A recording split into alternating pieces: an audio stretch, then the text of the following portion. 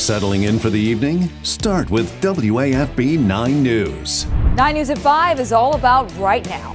With live crews delivering more breaking news as it happens. The jury has found the defendant guilty of second degree murder. Then on 9 News at 6, we'll dive even deeper. Bringing you more angles on the local stories that impact you. We're live at the Capitol with continuing coverage today. Delivering the news you need the way you need it. Every night on WAFB 9 News at 5 and 6.